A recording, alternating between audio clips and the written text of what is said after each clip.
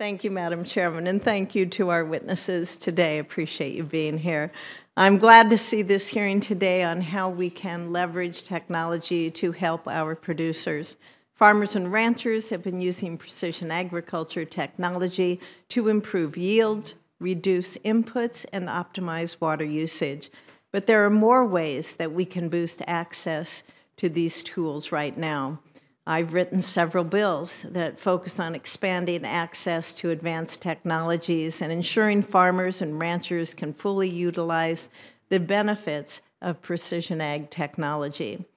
My Precision Ag Loan Program would provide dedicated financing for precision ag technologies. My Precise Act would leverage existing conservation programs to increase access to precision ag technologies.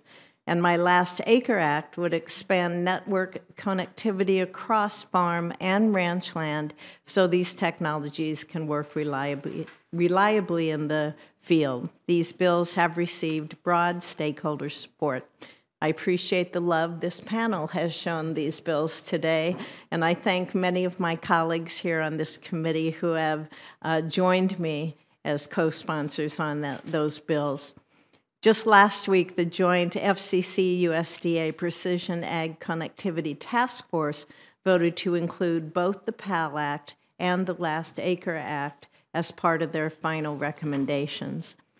We know that precision ag technologies give producers the ability to monitor and decrease their use of inputs like fertilizer and water while still producing safe, high quality crops. For example, precision agriculture's ability to optimize water usage is enormously important, particularly for our western states.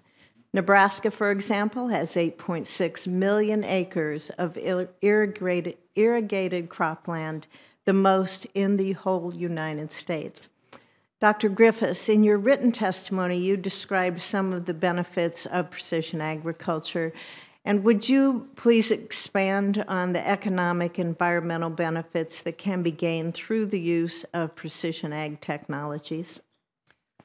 Yes, thank you. Um, basically, uh, the technologies allow much more specific information to be provided to the farmer or the rancher.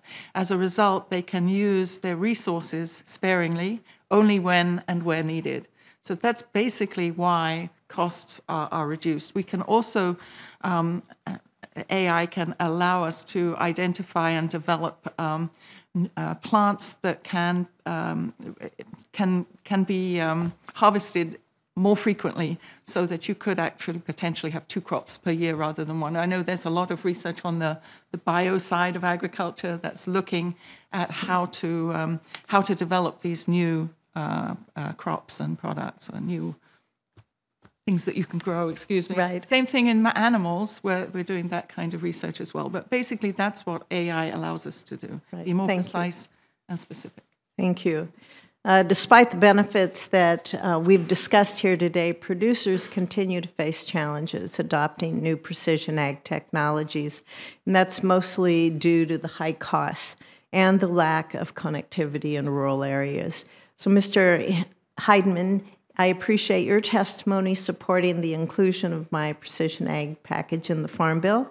As a technology developer, can you explain some of the financial challenges facing producers in adopting these advanced technologies? And then, secondly, even if producers can acquire the technology, what barriers prevent them from being able to fully leverage the precision ag technologies on their own farm?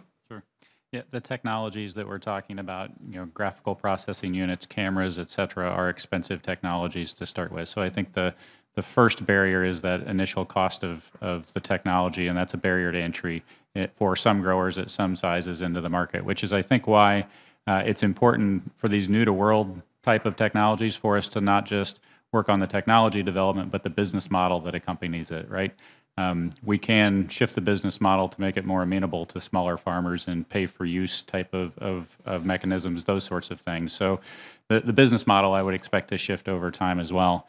Your second question, Senator, uh, is uh, a connectivity question, pure and simple. Uh, there are fundamentally technologies and, and an increasing number of them um, that will be in the marketplace. There are in the marketplace today and will be in the marketplace in the future that are connectivity dependent. Connectivity ubiquitously throughout whatever the field is that the farmer happens to be using. And not just building to building, uh, to be able to connect there, we've got to be able to look again at that last acre if we're A- truly going to make a difference. Yep. Exactly. Thank you. Thank you very much.